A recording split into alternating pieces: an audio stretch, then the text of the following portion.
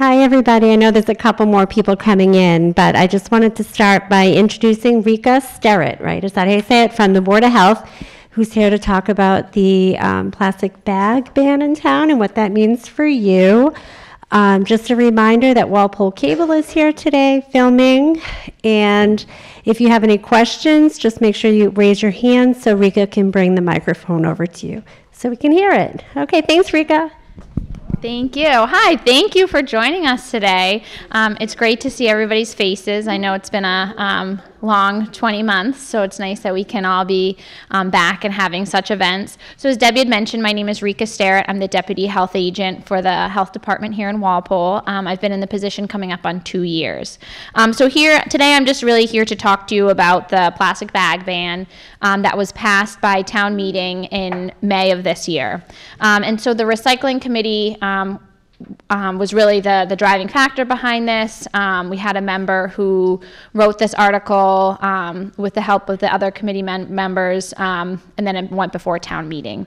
Um, and so it did pass.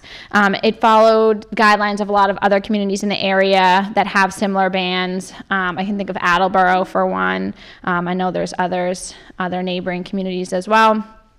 So this ban will go into effect for a large establishment, so establishments that have retail space of 3,500 um, square feet or more um, on March 1st, 2022. So in about four months, right, five months, um, it'll go into effect. And then for the smaller retail, it'll be September 1st, 2022. So they have a little bit more time because they're smaller establishments. They might um, go through their current inventory of plastic bags slower. So we were giving them a little bit more time. So this means that when you go to the grocery store, um, you'll no longer be able to get um, single use plastic bags. So, you really want to, we're encouraging people to bring their own um, reusable bags. Um, we have some on your way out. You can grab a bag or two if you'd like to take with you. Um, and then establishments in the article they can charge for plastic bags if they so choose um, that is or uh, not plastic paper or the thicker plastic that you've seen. Um, this ban um, does not apply to like newspaper bags. So the plastic bags that don't have handles like in the produce section of the grocery store where you might be putting your produce in those um, those plastic bags those are still um, allowed the newspaper bags. Um, so over at the table you might have um, on your way in come to grab a handout. So one of the handouts is an overview of the compliant checkout bags for Walpole. So it's a nice, simple breakdown of um, what bags are allowed and what aren't. So it goes over paper bags, what is allowed for the paper bags, and what type of paper bags would not be allowed. And then reusable bags, um, what is considered a reusable bag and what would not be, and so would then therefore not be allowed to be used. So again, if you didn't grab one, that's over there. And then there's two other ones that just, again, briefly go over what this means, um, how you might be able to um, address this yourself by making sure you have reusable bags, keeping some in your car. I know I always have way more than I need in my car, but um, they do wander in when I use them, so it's always good to have extras. Um, and then again, um, that's these two handouts. And then there's also information there if you have questions. You can go onto the Walpole website. Um, we have these handouts on the website. We also have a copy of the actual article if you're interested in looking at the regulations. There's an, also an email that we've created for the um, recycling committee. Some members are reviewing the emails that are coming in if anybody has any specific questions. And it's walpolebagban at gmail.com. So if you have any specific questions that come to mind after this session, or you know a business owner that has questions, questions, they can always um, contact the health department or um, send to that email. That email is specifically for any questions about the plastic bag ban. Um, so that more or less summarizes really what I'm here to talk about today. I do want to touch upon um, a couple other things with recycling just while we're on the topic. So I did bring, in case um, some of you don't have it, um, the, every year this um, mailer goes out with the recycling calendar, um, information about what you can recycle. If you have any questions on whether something's recyclable or not, um, you can go to recyclesmartma.org. There's the website website, um, right on the handout. So that's over on the table as well if you'd like it. Um, additionally, um, right now we still have um, the smaller rectangular recycling bins in town hall at the health department office. If you are in need of a recycling bin, um, you can always come by and um, pick one up. We do have some at the moment. Um, it's not something we always have, but um, when we have some funding available, we always like to order them because we know um, your recycling bins do get beat up over time with the weather and, and being emptied. Um, and so our office hours, in case you ever want to stop by to grab one or say hi or have any other questions, um, Monday, Wednesday, Thursday, 8 to 4, Tuesdays, 8 to 8, and then Fridays, 8 to noon. So is there... They're the, the smaller rec- rectangular bins, like the one, there's one in the back behind that table. They're like that size. Um, but so if you want to have larger bins, we just ask, you, you would have to purchase them yourselves, but we just ask um, that you keep them at 35 gallons or smaller just because we still have the guys from the truck physically emptying the recycling. Um, so we try not to have the bins or even trash barrels too large so that they can empty them. big ones for the truck, not available through the town. Correct, correct. Just the ones, and thank you, Nancy, she put it on the table. Those are the recycling bins that we do have in um, Town Hall at the moment. Do I have any other questions about recycling, the plastic bag ban, what that means? Yes. Now, the mulch bags, the mulch bags, when you buy mulch, they're the, in a plastic bag, there's no handle on them. You know, and uh, now, will the trash man, will they rubbish pick that up? Because it is plastic. They are pla, and they do not always pick up uh, plastic bags also that have that little signature triangle or whatever it is on the bag that says it is recyclable. And they don't pick it up. They'll take it out of the trash bag and they'll just leave it there on the ground and not take it. So are you putting that in your recycling or in your trash? And, it- Bags. well, it would be in the recycling because even though in the, the, for the glass, for the plastic. So Because I'm a big recycler and, you know, whatever. So it's always good to recycle. And so that's where I'm going to refer you back. If you're ever unsure, um, recyclesmartma.org or call our office. But unfortunately, plastic bags, even if they have that recycling sign on that, they cannot go into the recycling. Um, with your plastic bag, they, they tangle up. And the MRFs, when they're separating out your recyclables, they can they can cause um, things to get tangled. So generally, plastic bags cannot go into your recycling. But the grocery stores, they have those bag like you can return and you can put those with with those plastic bags. Um, and then the mulch bags, plastic. Do you mean like will you be able to get those from the store or? And they're full, you know, when you want to spread mulch in the spring or whenever you're doing it, they're in plastic, the mulch itself is in plastic bags. And those bags do not have handles on them. So So then you have to get rid of them naturally, so when you have, I bought fifty of them this year. And when you put them out a little bit at a time, sometimes they'll pick it up and sometimes they won't, they'll just leave it. So the actual bags, those those I would go into the trash, Okay. oh, and they should pick them up in the in the trash. Yep. Um, unfortunately, those cannot be recycled. I know a lot of people would like to recycle plastic bags. So again, the best place, bring them to the grocery store because, um, and Jane, you might be able to speak to it better, but I do believe grocery store they'll take um, um, other types. Like I think they sometimes take, bu- um, I don't want to say bubble wrap, but you know the Amazon packages when they come with those, they're the larger filled bubbles with air. Um, you can return those. They take a, a wider range of those plastic types of bags that you can actually bring to the grocery store. think they would take mulch though, because. No, not that, wouldn't give them that. No, no, the mulch bags, because they're dirt, because it always says they have to be clean, so, you know, you, um, you probably just better put it in. In trash. In the trash, Yeah, yeah. and just make it easy on yourself. I mean, there's some things that you just can't recycle them. Yeah. And b- I wa- go to your. I forgot. I should introduce. Um, Jane is here with us, and so is Nancy in the back. They're both part of the recycling committee, so I appreciate them coming to help me today. Um, and yes, we had a question. Oh, I need to bring you the microphone.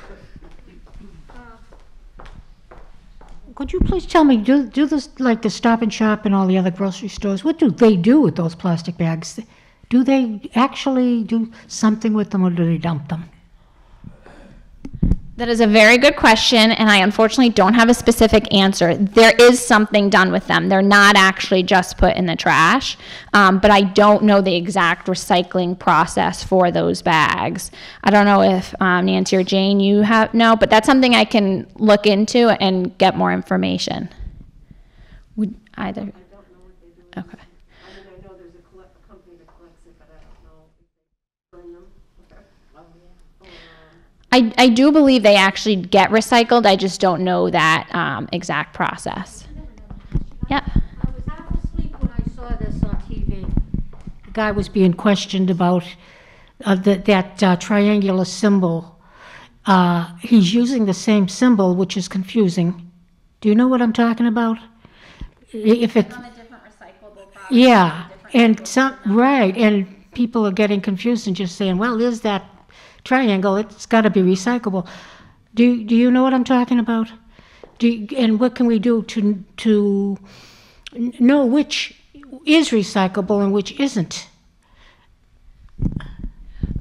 So, I, in some ways, I wish I had Mass DEP here because they are the gurus on recycling. Unfortunately, again, just because something has those triangles on it does not mean it can be recycled. Um, and I know that can be very counterintuitive. Um, there are, depending on the state you're in, some states will take some, have processes to recycle some materials over others. Um, and then, so those, those are really for partially for manufacturers for the like type of plastic um, and again some states some communities might take some some kinds and others don't depending on what type of facilities they have there that might take it so again for us the best resource um, when you're unsure of something um, because there's a lot of things that you would like to recycle or that you think would be recyclable but actually unfortunately aren't. Um, so really we refer to the recyclesmartma.org type in what it is that you're um, looking to recycle and they will tell you um, if it can go if it needs to go in the trash if it can be put in regular recycling or if there's another potential place to dispose of um, those items if there's another option did you have something Recycling plastic bags. Recycling, recycled plastic bags usually get melted down so they can be made into new plastic bags. Um, this reduces the impact on the environment because manufacturers don't need to new to use new plastic to create a bag. And also, after the recycled plastic bags can be converted into outdoor furniture, which I did know that. The most common items are decks, park benches, picnic tables, fences, and I know there's a there's a brick there's a program that makes bricks. Thank you, Nancy. Okay. Any other questions? Yes. Now, I will do better at calling to find out, but in the past, this is what I've done. If I have a question about a piece of plastic, I go, let them figure it out, and I throw it in with the recyclable plastics. When they get my bin, or anyone's bin, and they, I mean, it all goes into a huge vat, I'm sure.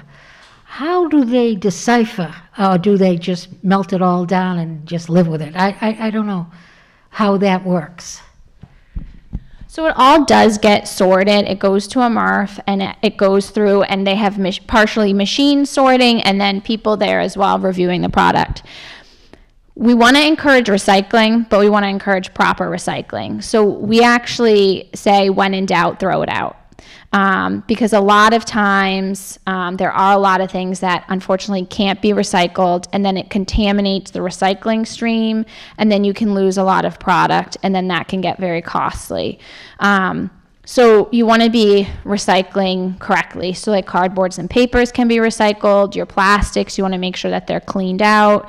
Um, no food debris when you're putting it in. Um, and again, unfortunately, when in doubt, um, throw it out. And I, again, I hate to say that because we want to encourage recycling, um, but you need to be recycling properly. Um, There are people, yes, there that can sort it out so it doesn't go into all one vat. But if it is, if there's a, in some places they say if they get one contaminated load, then the whole load gets thrown out.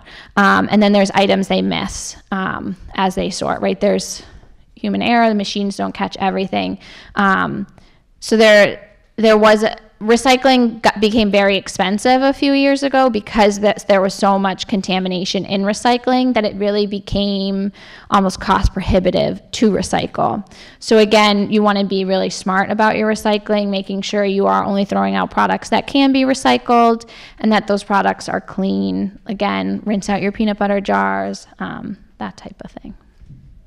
Yeah, I'm I'm sorry. No, that's okay. I wish I was more awake during this program because it was very, in- it was very um, interesting, but this guy was asked, why did you come up with this same type of symbol? And I'm, and I'm going to make a statement here. If it's so important that we should recycle and recycle properly, why can't we remove this man's, whoever, whatever agency he belongs to, tell him, get a different symbol because you're confusing the people. If it's that important to us, why aren't we doing that so that we won't get confused with his symbol being so much like the other triangular recyclable symbol?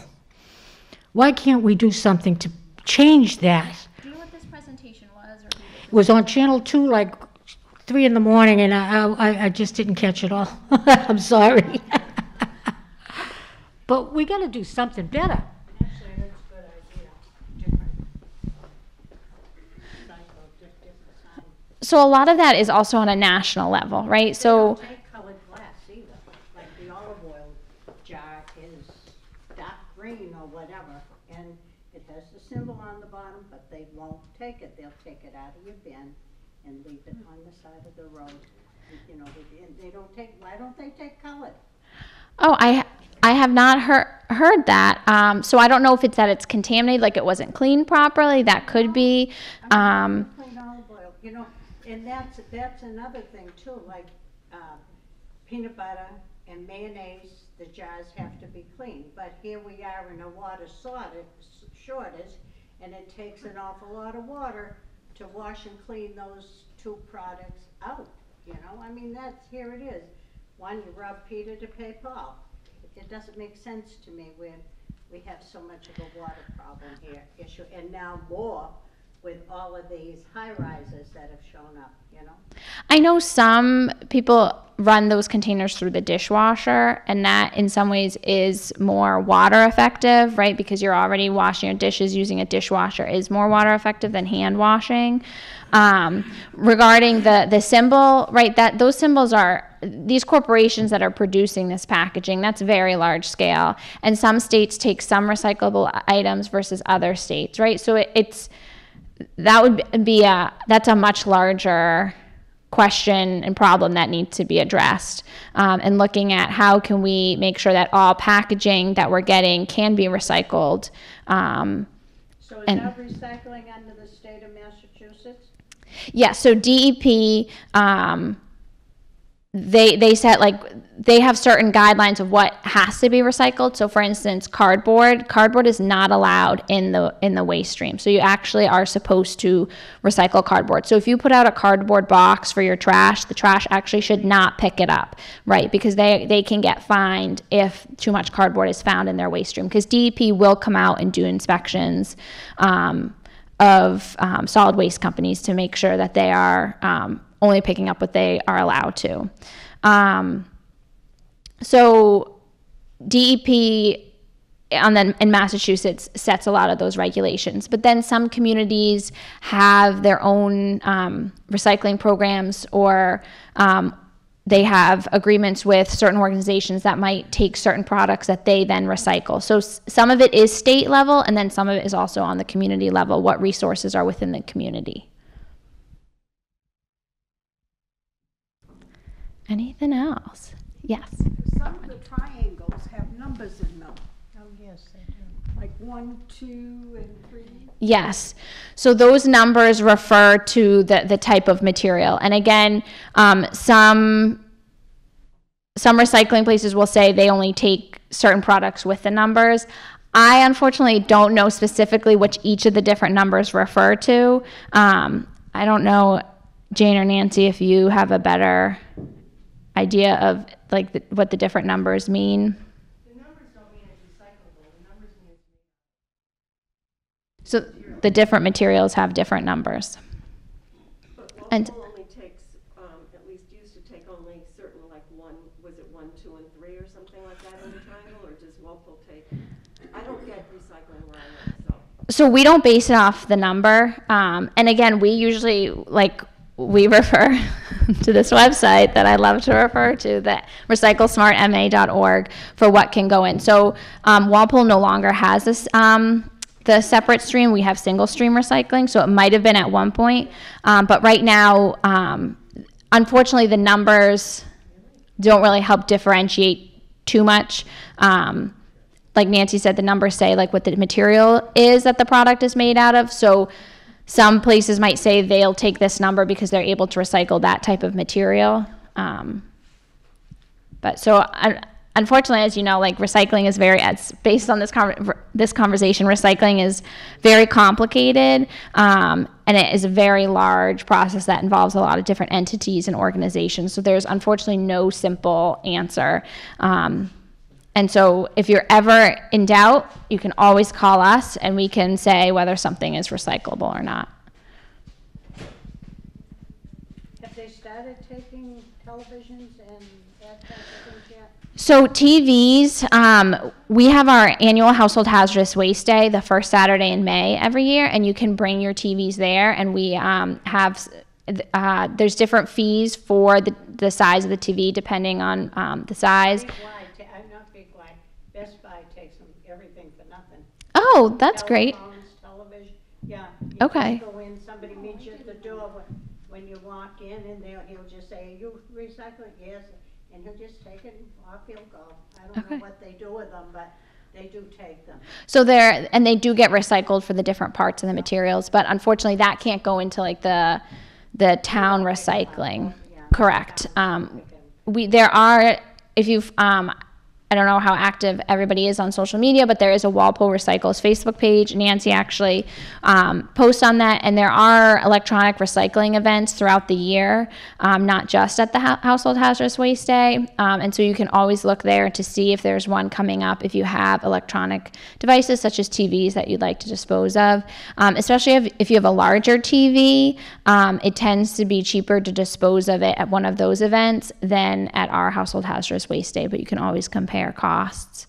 Um, and same thing, other appliances cannot go into recyc- into town um, trash or recycling.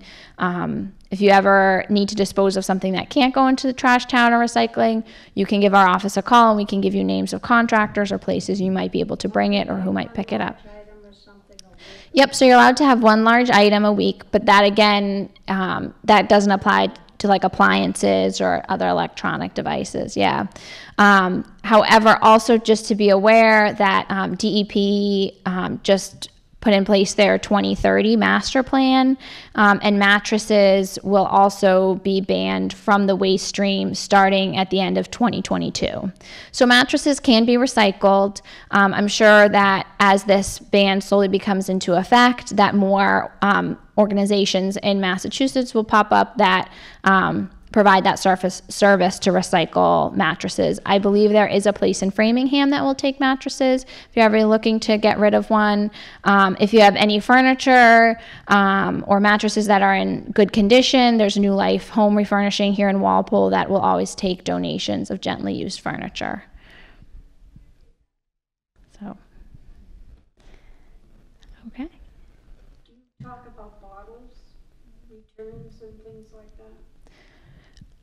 Regarding, like, do you have a specific question around bottle returns? Well, yes, um, CVS, if you buy their bar, their tonics or their water or anything, they'll charge you, but they won't take them back. So again, I that I believe that would be overseen by DEP. I don't know the enforcement around if they have to take it back. I believe there is a bottle redemption center, um, though. Have you tried bringing it there and they don't take it? Go into another, uh, like, uh, the big Y where they take Yep. Spit 'em out. because they don't take them. And I- I've had similar experiences myself at places, and I don't know why that is. I had always had the understanding that if they sell them, they they should take them back, um, but I don't know who the enforcement um, body is or what the actual regulations behind that other day, my husband and I went to Stop and Shop with a couple of big bags full of returns, the bottles and the cans. And when the machine started spitting it out, my husband just put it back in and it took it. So sometimes they're finicky too. Um, but I wonder if the Redemption Center um, w- might take those, that they have a broader. Um, so you could bring it there. One second. Did you have a question? Um, I wanted to ask about styrofoam. Does that go in the regular trash? Styrofoam is trash, unfortunately, yes. And there's no program t- for recycling styrofoam, and it doesn't sound like there's going to be one I just didn't moving forward. know which place I should be. trash. Styrofoam is in trash. Yep. Um, and we have reached out to DEP about styrofoam, and it doesn't sound like they're looking for a program for recycling styrofoam. Um, we get that question quite regularly, actually. Place in Bridgewater, apparently that takes styrofoam. So there you go. This summer, I started drinking beer, and uh, I, I, uh, I had two six packs of bottles of, of beer to get rid of, and um, at that recycling near that don- the donut shop there, they don't take bottles anymore. And they, so I just want you to know that they'll take your cans, but they won't take bottles. So I'm going to go to canned beer from now on. No, I'm just, I'm just joking. Um, so- One of the big return things had one that said bottles only. where's this? Stop and Shop. Oh, okay. Well, And it said bottles oh, okay. I'll go there. But I just wanted to let you know. Maybe it's the kind of beer people can drink it because they don't take all kinds. Oh, oh, that may be. it. I don't know.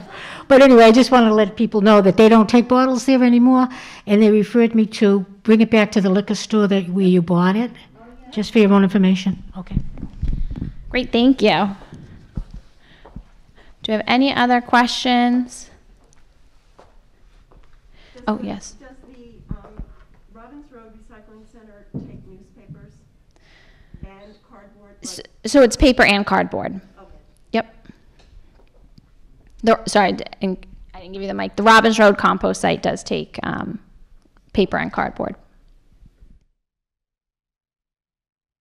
Okay, well, I appreciate you so much for joining us today. I know it was a, a short segment, and I apologize that I didn't have all the answers, but I'm always happy to get answers, so you can always contact me at the health department.